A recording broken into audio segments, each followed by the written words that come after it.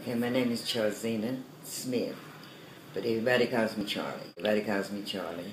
And uh, I live here with my grandson, Nathaniel Smith. We call him Little Nugget. Uh, he's 15 and he goes to Austin East. And we moved in Walter P. I believe it was in September. My mom died in August. I left here when I think I was 20, moved to Los Angeles, and uh, I joined a group of girls and I sung for a while with a group of girls, and then I, I moved back home.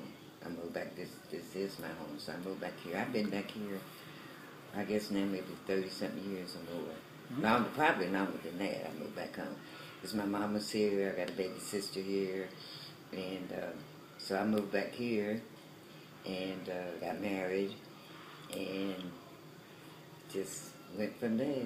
Came through here one day and they were building and I talked to the man. He said, just belong to KCDC. So I went to the office and uh, asked could I fill out an application.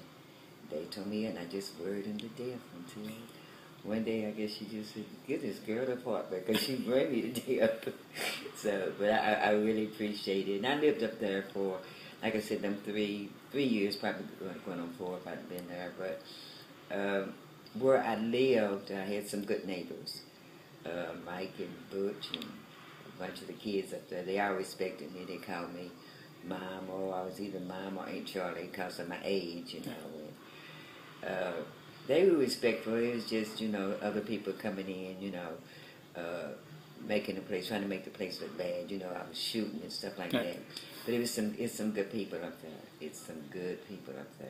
but I'm just blessed that I'm down here. Blessed that I'm down here.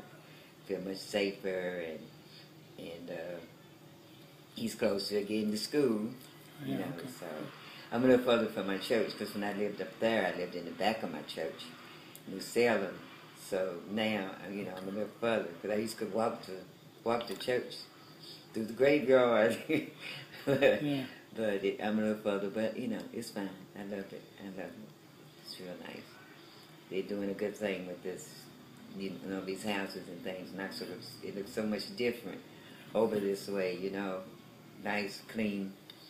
And like I said, so I've met some people who have just walked down here that lives up the street, and they just walk down here and, you know, talk with, welcome you to the neighborhood, and uh, it, it's just really nice. It's just really nice. So that's right. our story.